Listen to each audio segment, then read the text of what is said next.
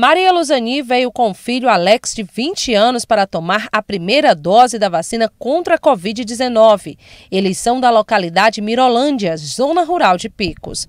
Estou feliz que meu filho recebeu a vacina, ficou muito satisfeito. E estou com muito prazer na vida dele ter sido vacinado. E se precisar, eu torno vir outra vez de novo. A Secretaria Municipal de Saúde de Picos recebeu 1.120 doses de vacinas contra a Covid-19 para esta fase de imunização.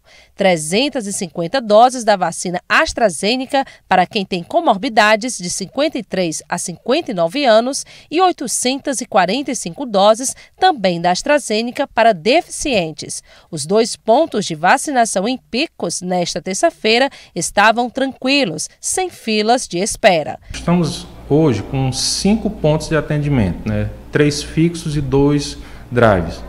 É, nós temos uma capacidade hoje de imunizar mil pessoas por dia, só em um turno. Então, o secretário já nos orientou né, que, se necessário, a gente pode dobrar os turnos. Então, fazer vacinação manhã e tarde, que a gente tem como atender duas mil pessoas dia. E, se precisar, nós temos como tranquilamente abrir mais pontos. A ordem do secretário é chegando vacina imunizar o mais rápido possível. São 23 tipos de comorbidades para ter acesso à vacina contra a Covid-19.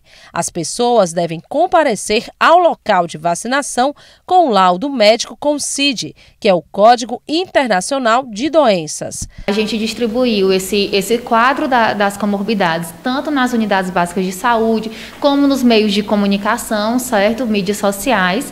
E cada médico de cada UBS tem acesso a essa lista. A secretaria preparou já um atestado para facilitar para o médico na hora de dar esse laudo contendo o CID da vacinação. É necessário que tenha o CID. Todas as vezes que a gente vai divulgar essa programação, a gente é, frisa bastante que pode ser um laudo, um atestado, mas que tenha o CID da doença, certo? Nesta terça-feira, receberam a vacina contra a Covid pessoas com deficiência permanente de 25 a 59 anos, pessoas com síndrome de Down, com paralisia cerebral e com transtorno do espectro autista de 18 a 59 anos. Cerca de 90 alunos da Paz de Picos já receberam a primeira dose da vacina nesta fase.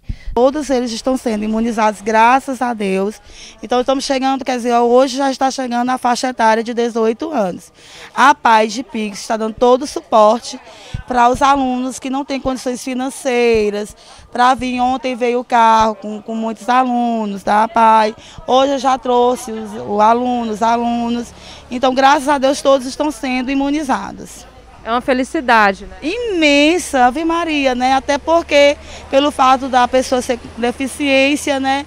Então, ter, tendo essa oportunidade, a prioridade, isso é maravilhoso.